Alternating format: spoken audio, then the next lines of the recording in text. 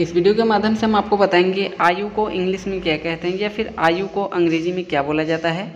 Video को पूरा देखिएगा, तभी आपको अच्छे से क्लियर हो पाएगा। तो ये आप देख सकते हो, आयु को हम इंग्लिश में बोलते हैं एज। एज।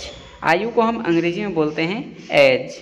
एज। तो आई होप आपको ये आयु का अंग्रेज़ी में अर्थ आपको क्लियर हो गया होगा।